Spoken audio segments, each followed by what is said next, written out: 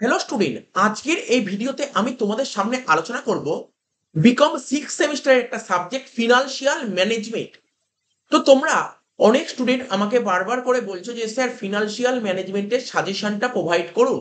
দেখো, আমি একটা কথা বলি, আমি বহুদিন আগে, এক মাস আগে, আমি ফিনান্সিয়াল ম্যানেজমেন্টের এক্সপেক্টেড কোশ্চেনগুলো আমি তোমাদের দিয়ে দিয়েছিলাম অনার্স এবং জেনারেল বোথ এবং তার অ্যান্সার যারা ইংলিশ ভার্সন পড়বে ইংলিশ ভার্সনের অ্যান্সারও দিয়েছিলাম। যারা বেঙ্গলি ভার্সন পড়বে বেঙ্গলি ভার্সনের অ্যান্সার আমরা আমাদের টেলিগ্রাম চ্যানেলে পিডিএফ ফর্মে আপলোড করে দিয়েছিলাম। তো দেখো, আর সাত দিন বাকি। আজকে ফ্রাইডে নেক্সট ফ্রাইডে হচ্ছে তোমাদের ফিনান্সিয়াল ম্যানেজমেন্টের এক্সাম ঠিক আছে?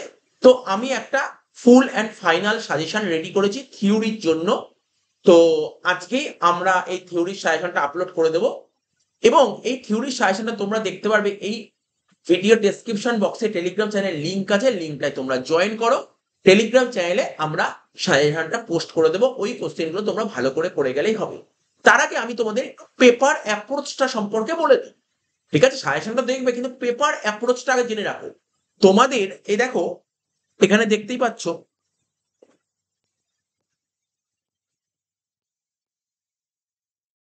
তো তোমাদের যে পুরো একশো নাম্বারের পেপার ঠিক আছে? একশো নাম্বারের মধ্যে কুড়ি নাম্বার তো ইন্টারনাল হয়ে গেছে, বাকি যে আশি নাম্বারের পেপার তো তোমার পরীক্ষায় দুটো গ্রুপে কোশ্চেন সেট হবে, দুটো গ্রুপে একটা গ্রুপ এ আর একটা হচ্ছে গ্রুপ বি গ্রুপ এ থেকে তোমাকে পাঁচ নাম্বারে চারটে অ্যাটেন্ড করতে হবে। কি বললাম? পাঁচ নাম্বারে চারটে অ্যাটেন্ড করতে হবে, কুড়ি নাম্বার। যার মধ্যে দুটো কোশ্চেন অর আকারে আসবে।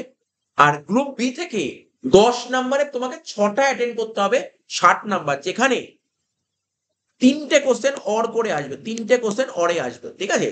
অরে থাকবে তিনটে কোশ্চেন এইবার এইবার দেখো দেখো অনেক স্টুডেন্ট অঙ্কতে খুব স্ট্রং আবার অনেক স্টুডেন্ট থিওরিতে খুব স্ট্রং তো আমি দু রকম স্টুডেন্টের জন্যই বলে দিচ্ছি যে খুব অঙ্ক, যে অঙ্ক, সব অঙ্কই ভালো মতন পারবে তাকে, কতটা থিওরি লিখতেই হবে, কতটা নাম্বার মানে কম্পালসারি কতটা থিওরি লিখতে হবে, অর্থাৎ যাকে বলে মিনিমাম আর কোন স্টুডেন্ট যদি মনে করে, না স্যার, যতটা কম অঙ্ক করে, যতটা ভালো হবে, তো তাদের জন্য তাদের জন্য মিনিমাম কতটা অঙ্ক করতেই হবে। আমি সমস্ত ডিটেলস আমি তোমাদের সঙ্গে তুলে ধরছি।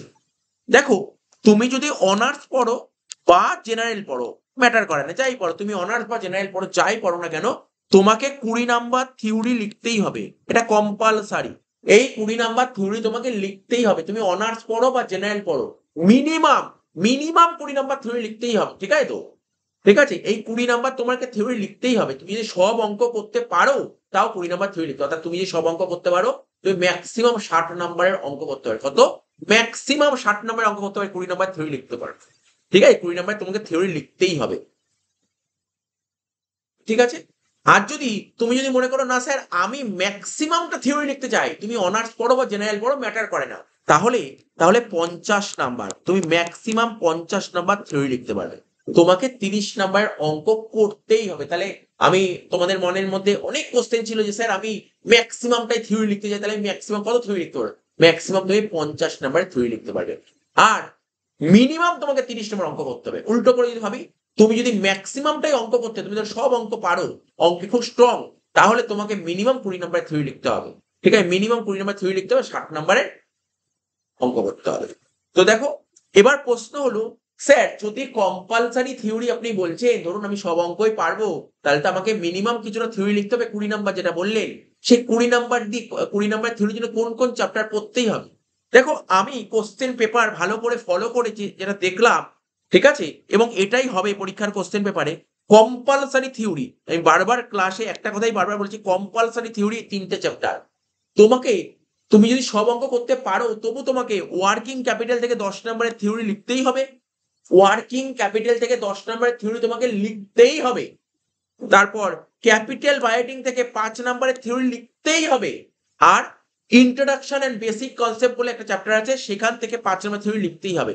তার মানে তুমি যদি অঙ্ক ভালো করে পারো, তাহলে তুমি তিনটে চ্যাপ্টার থিওরি ভালো করে পড়ে যাও, আর কিছু পড়ার দরকার নেই। তুমি যদি অঙ্ক ভালো করে পারো, তাহলে তুমি তিনটে চ্যাপ্টার থিওরি খুবই ভালো করে পড়ে যাও। কি কি বললাম? ইন্ট্রোডাকশন অ্যান্ড বেসিক কনসেপ্ট থেকে পাঁচ নাম্বার আসবে ক্যাপিটাল ওয়াইডিং থেকে পাঁচ নাম্বার আর ওয়ার্কিং ক্যাপিটাল থেকে দশ নাম্বার। এখন এখন স্যার আর এই তো বললেন, এখান থেকে কম্পালসারি কুড়ি নাম্বার থিওরি লিখতেই হবে। কিন্তু ধরো ধরো যারা পঞ্চাশ নাম্বার থিওরি এক্সাম পেপারে লিখতে চাইছে আশির মধ্যে, এখানে তো কুড়ি নাম্বার হলো। তাহলে বাকি তিরিশ নাম্বার থিওরি কোথা থেকে আসবে? দেখো, আমি লিখেছি কিছু অপশনাল থিওরি যেটা ডিভিডেন্ড পলিসি থেকে একটা অপশনের থিওরি আসবে টেন মার্কসের ডিভিডেন্ড পলিসি থেকে। ঠিক আছে? তারপর লিভারেজ লিভারেজ যে চ্যাপ্টারের অঙ্ক আসে, অঙ্ক খুবই সোজা অঙ্ক। যদি কারোর অঙ্কে অসুবিধা হয়, তাহলে লিভারেজের যে অঙ্কের চ্যাপ্টার আছে, তার সঙ্গে তোমরা এবছর পরীক্ষা, যেমন আগের বছর আসেনি লিভারেজের সঙ্গে থিওরি অরে আসেনি। এবছর সম্ভাবনা আছে লিভারেজের সঙ্গে ক্যাপিটাল স্ট্রাকচারের থিওরি আসার। ঠিক আছে? থিওরি আসার প্রবল সম্ভাবনা আছে। এবং ক্যাপিটাল বাজেটিং যে চ্যাপ্টারটা আছে ক্যাপিটাল বাজেটিং এর সঙ্গেও থিওরি অপশনে আসবে। তাহলে তোমাদের বলে দিলাম অপশনে কোন কোন চ্যাপ্টারের থিওরি আসতে পারে এই বলে দিলাম। এইবার সমস্ত জিনিস তোমাদের সামনে তুলে ধরা হলো। হ্যাঁ আর একটা কথা তোমরা বলছিলে, স্যার এফআর এফএস এর যেমন আপনি লাস্ট মিনিট সাজেশন দিয়েছিলেন, তাহলে কি ফিনান্সিয়াল ম্যানেজমেন্ট এফএম এর কি লাস্ট মিনিট সাজেশন দেবেন রেডি হয়ে গেছে। আজকেই রেডি হয়েছে। আজকেই রেডি হয়েছে। আমরা আজকে যদি পারি, রাতের মধ্যে দেওয়ার চেষ্টা করব, আর আজকে যদি একান্তই না হয়, কালকে তোমরা পেয়ে যাবে। পুরো রেডি হয়ে গেছে। এফএম এর ফাইনাল সাজেশনটাও রেডি করা হয়ে গেছে। আচ্ছা ফাইনাল সাজেশনগুলো সম্পর্কে আমি তোমাদের একটু বলে দিচ্ছি। এখানে যে হাইলাইট করা আছে হাইলাইটের মানেটা আমি তোমাকে বলে দিচ্ছি। এখানে যেইগুলো গ্রিন কালি দিয়ে হাইলাইট করা আছে, ঠিক আছে? সবুজ কালি দিয়ে হাইলাইট করা আছে, এই কোশ্চেনগুলো অনার্স এবং জেনারেল বোধ তোমাদের সবাইকেই করতে হবে। অনার্স জেনারেল সবাইকেই করতে হবে, ঠিক আছে? গ্রিন কালি দিয়ে হাইলাইট করা। ঠিক আছে? আর দেখতে পাচ্ছ যেগুলো পিঙ্ক কালি দিয়ে হাইলাইট করা আছে, সেই কোশ্চেনগুলো শুধুমাত্র জেনারেলকে দেখো, একটা কথা মাথায় রাখো মানে যে এখানে ধরো এই যে পুরো যে পিডিএফটা পিডিএফটার মধ্যে খুব সম্ভবত তিন থেকে চারটে কোশ্চেন পিঙ্ক করা আছে। তাহলে যেইগুলো পিঙ্ক করা আছে, সেইগুলো শুধুমাত্র জেনারেলকে পড়তেই হবে। সেইগুলো জেনারেল স্টুডেন্টদের পড়তেই হবে। কিন্তু যেইগুলো গ্রিন কালি দিয়ে হাইলাইট করা, সেটা অনার্স এবং জেনারেল বোধ করতে হবে বোধ আমি তোমাদের বারবার বলব যে কুড়ি নম্বরের কম্পালসারি থিওরি আছে, তোমরা আগে কুড়ি নম্বরের কম্পালসারি থিওরি রেডি করো। যেমন আমি কি বলেছি? ইন্ট্রোডাকশন আর বেসিক কনসেপ্ট এখান থেকে তোমার ফাইভ মার্কস আসবে এক্সামে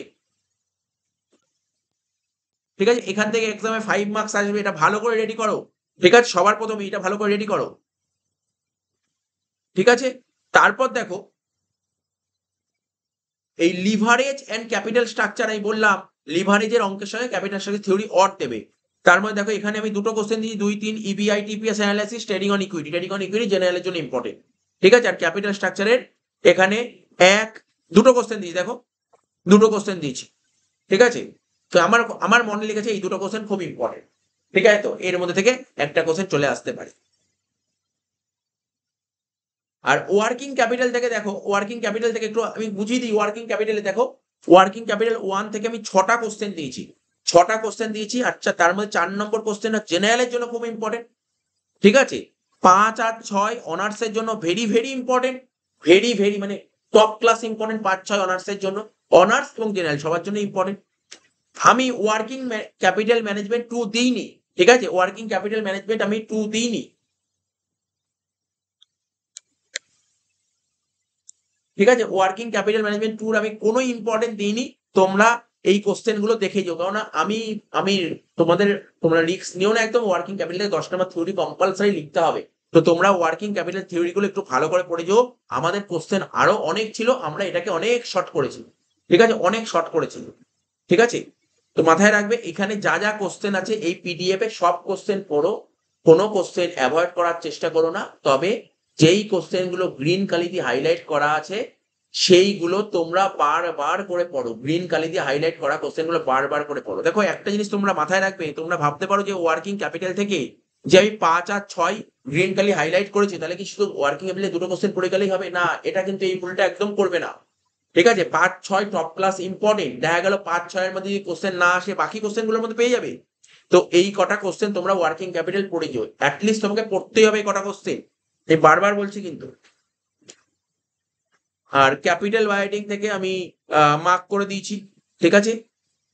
এই যে পুরো পিডিএফটা দিয়েছি, পুরো পিডিএফটা তোমরা খুব ভালো করে পড়ো। পিডিএফটা তোমরা পিডিএফ এর প্রতিটা কোশ্চেন খুব ভালো করে পড়ো। তার আগে কম্পালসারি থিওরিটা আগে ভালো করে পড়ো। কম্পালসারি থিওরিগুলো ভালো করে পড়ো, ঠিক আছে? আর যেইগুলো কম্পালসারি থিওরি আমি বলব, সেখানে তোমরা সিলেকশন করতে যেও না যে এটা এটা হচ্ছে এটা বেশি ইম্পর্ট করতে যেও না, ওইগুলো সব করো কিন্তু গ্রিন কালি হাইলাইটগুলো একটু ভালো করে পড়ো। তো ঠিক আছে? এই ভিডিওটি আমরা এখানেই শেষ করছি। ঠিক আছে, আমরা আবার পরবর্তী ভিডিওতে হাজির হব কারণ আমাদের লাস্ট মিনিট সাজেশন দিতে হবে ফিনান্সিয়াল ম্যানেজমেন্টের তো এই ভিডিওটা ভালো লাগলে তোমরা অবশ্যই তোমাদের বন্ধু বান্ধবদের মধ্যে একটু শেয়ার করে দিও।